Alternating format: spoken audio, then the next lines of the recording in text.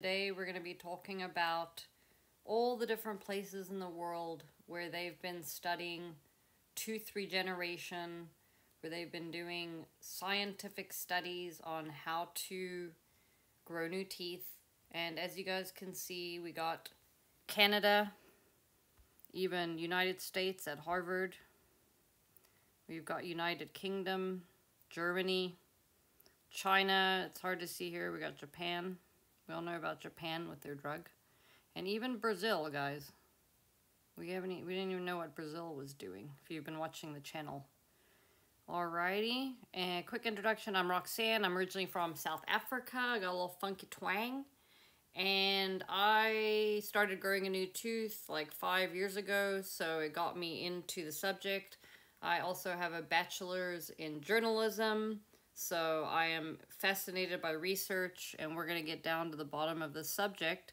And a big thing I want to talk to you guys about, uh, maybe let's just get right to the main subject. All right, so we got Canada. We've been talking a lot about Canada. Dr. Tarek Bialy, he's doing the ultrasound. All right. And uh, this is some stuff that was happening before. oh, let's go back to this map. Hold on, guys. I got all this research, y'all. Oh, Sweden. What's Sweden doing? Sweden, Nordic countries, tissue engineering, craniofacial regeneration studies, 1990s. Sweden and Finland has already been talking about this stuff since the 90s, guys. So I just want to show you how long they've been doing it. Okay, so here's a nice little chart I got made. All right, so here we got 2002. This is, uh, what's the date, guys? 2025. So we're talking what, 23 years since they were growing teeth in Canada? Like, legitimately with ultrasound, we're growing teeth. So then by 2005, we got United States in there, stem cell. 2007, they already started in Japan. Um, even though the drug is just now getting studied, they've already been studying it. 2010, we got United Kingdom with the stem cell research. Uh, China from 2012 is doing a bioengineering focus. Germany, 2014, we got tissue engineering advances. And then Brazil, 2018, regenerative trials. So guys, this is all science. This is all stuff that's been happening. All right. And now let's go through. Let's really talk real quick here.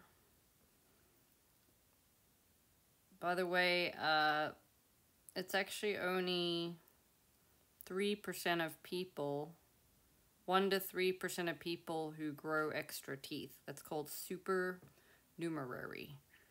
So I had said 5% before, but it's actually less. Alright, so let's talk a little bit. Uh, we got Canada here, like I was saying with the LIPUS uh, ultrasound device. We talk a lot about that on this channel. So if you need more information about the lipus, uh, check through the videos. We have um, Harvard doing some of stem cells, bioengineered scaffolds. I've been hearing about the scaffolds a lot. We talk a lot about Japan and Tokyo and how they're doing the the drug. It's like an injection, and they're actually they're actually experimenting on people. Um, that's to do with the genetics, and they're taking away a certain gene. Also United Kingdom at King's College, been hearing about this a lot lately. London developed key discoveries in dental stem cell bio biology. China has done extensive uh, research on stem cells, tissue engineering. Germany, engineering for enamel and dentin replacement. And then we got Brazil here, clinical trials exploring regenerative dentistry applications. So uh, all over the world, guys, they've been looking at this for a long time.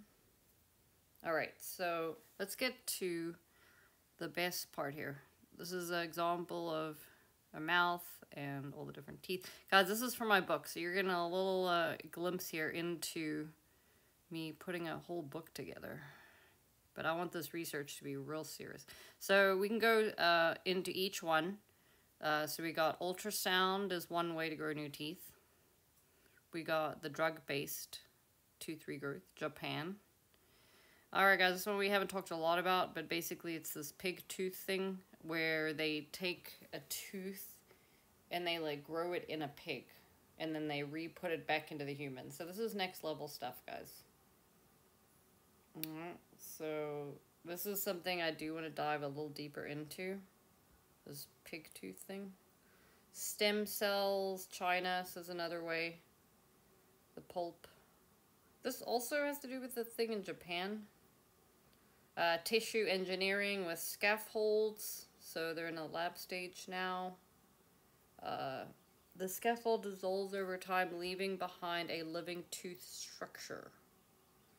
Biodegradable scaffolds shaped like a tooth are implanted with stem cells and growth factors. Very cool. Alright, we got quantum frequency base. This is speculative. This is more my stuff. Alright, so let's get into this real quick, guys. Um, Alright, let's compare all the different methods. We got eight methods here, okay? So first of all, we got the ultrasound. Alright, so how it works is the low intensity pulsed ultrasound stimulates dental stem cells and root repair. Alright, so what's the status? Animal early human studies ongoing refinement. So they stopped doing that for some reason and our guy Bialy, he's like working on this other product that probably grows teeth because it's lipus. Uh, it's non-invasive, low risk, cost effective. And then the limitations right now is um, limited to repair. Full tooth regrowth not yet routine. Okay, so I guess it's like if you already have a tooth. But, okay, let me, how do I get this bigger? Oop. Okay, anyways. We got the drug therapy in Japan using USAG1 inhibitor drug uh, reactivates natural tooth growth pathways. And they've had animal success, mice and ferrets. Human trials are now happening. It says upcoming, but they're happening now since 2024. And that's a lot of my channel. Triggers new, the strengths triggers new real tooth growth drug delivery is easy. Needs human safety validation early stage. All right, so that's the second way to grow teeth. Dude, we need numbers on here. We got the pig tooth scaffold in UK. So it says the pig tooth material used as scaffold with human cells. Okay, we just talked about this so you guys of understand it. Very lab stage experimental. Provides scaffold in tooth formation, immune rejection risk, ethical issues. Yeah, this pig thing, guys. Taking a tooth, growing it in a pig, and then that's just weird, dudes. Come on, guys. But pretty cool stem cell therapy, dental pulp, or mesenchymal stem cells guided to form new tissue, tissues. I don't think we've talked about mesenchymal stem cells, so we'll have to talk about that. Animal small human trials. So they are doing human trials on this dental pulp, US and China. Okay. They use patients' own cells, personalized. Okay, I kind of like using my own cells rather than the pig cells. I don't know if I want a pig tooth, y'all. Right? Haha! pig tooth. Check my pig tooth, guys. Enamel regeneration remains difficult. Okay, so it's still hard with the enamel.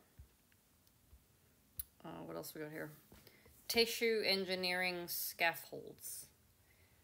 Um, so we got biodegradable scaffold seeded with cells dissolves, leaving teeth tooth structure. That Sounds pretty cool. This is okay, that's what a scaffold is. Right. It's not scientifically validated yet. Non-invasive aligns with biofield science. Okay. So we got quantum frequency approaches. Electro, I'm more into this kind of stuff, guys. Electromagnetic fields frequency stimulate regenerative potential speculative, limited peer-reviewed evidence, non-invasive aligns with biofield science. Oh, wait. Okay, I said that in the last one. Sorry, guys. Um, you guys can see it. Not scientific, gene delivery, safety concerns. Oh, that's gene therapy. Alright, let's get up here. See here, scaffold. Okay, we know about that. The scaffold, quantum. So we're talking about energy. So low level lasers, even they're talking about lasers. Do a video about lasers. Okay. Let's finish this up here, guys. We got the gene therapy. Reactivates developmental genes to restart tooth formation. Preclinical research, early experimental stage, targets root cause via genetics. Oh, I like that. Targets root causes via genetics.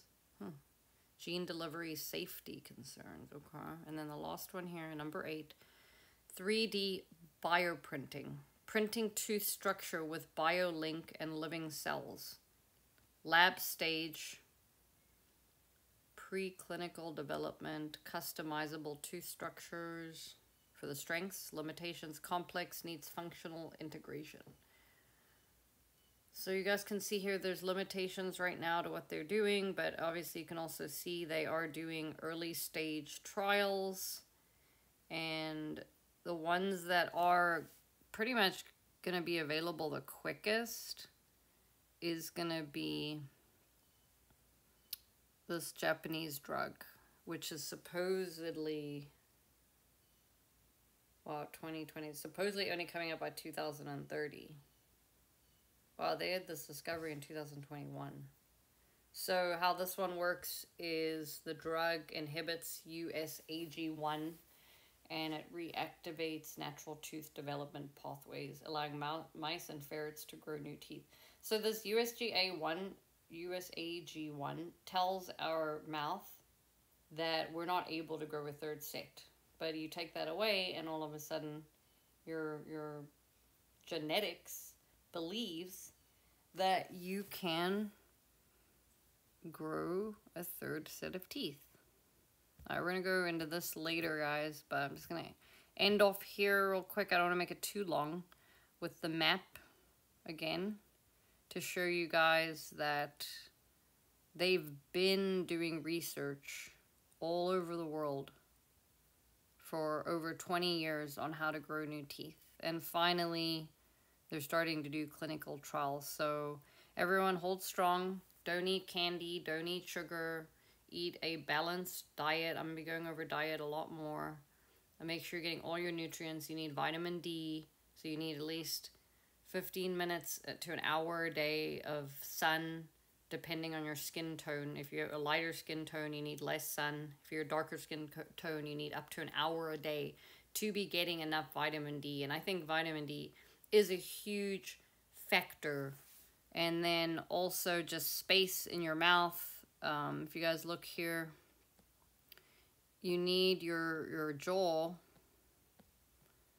to be more of a U-shaped and what's happening is we're not using the right tongue position up on the roof of our mouth, holding our head up, so our teeth are crowding in. We're supposed to not have a C-shape jawline, which is to have a U-shaped. So look into mewing. I got a bunch of videos on mewing to make sure your entire structure of your face uh, needs to be uh, basically held up by your tongue and then that way you have enough space to regrow a third set of teeth. So not only is there eight scientific ways to grow new teeth, there's even another way, which is what I talk about on my channel. So check out my videos. I have a bunch of different things to factors to talk about, but um, diet's huge, guys. And then my be all end all is the coconut oil pulling, and you hold a teaspoon of very pure extra virgin coconut oil in your mouth for about 20 minutes. It pulls out the bacteria, it pulls out all the bad stuff, and it even pulls out new teeth. And that's how I started growing a new tooth is from the coconut oil. And um, you can just get any coconut oil at your grocery store, about $8. Uh, there's a specific one that did grow my teeth, but it's like $35 online. I don't know, the price went crazy, so hopefully do a collaboration with them or something. and I will be uh, posting more videos, and I'm working on a book. I'm also going to be working on an official course because no one else is teaching this stuff. So someone's got to do it, guys. Someone's got to do it. And it's me, Roxanne. I love you guys, and thank you for checking out my channel. Hopefully that gives you guys some excitement uh, to see that they have been doing research for a long time about how to grow new teeth. So, thanks, y'all. Chat soon. Peace.